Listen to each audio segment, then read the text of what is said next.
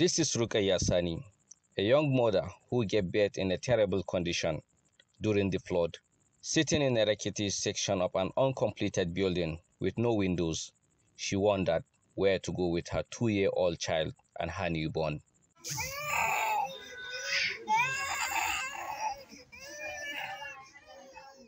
She stayed aimlessly.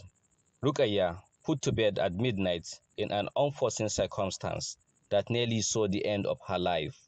She survived giving birth at a time when the only community primary healthcare facility at Karnaya village was submerged in water with no access to medical care.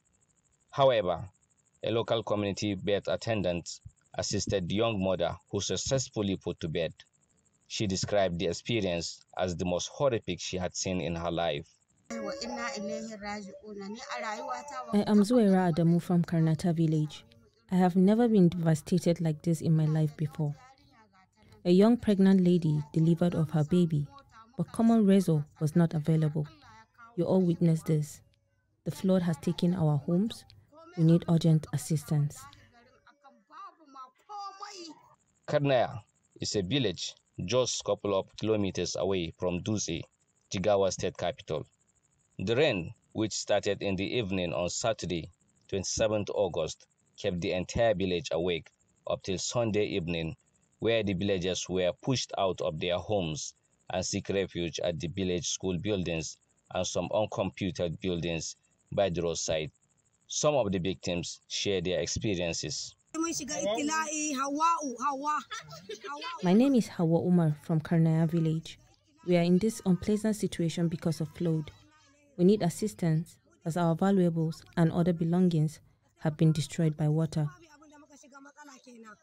While the displaced are helpless, they said they do not know how to begin rebuilding their lives and settlements.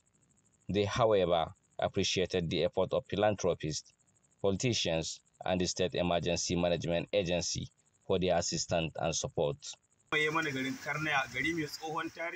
We lack accommodation. We find families and in-laws squatting in classrooms.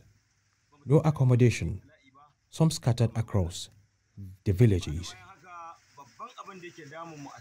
For this young mother and her two children who may not even know the situation they are in, rebuilding their lives may be difficult, but Rukaya said she will take each day as it comes. Salim Umar Ibrahim, Trust TV.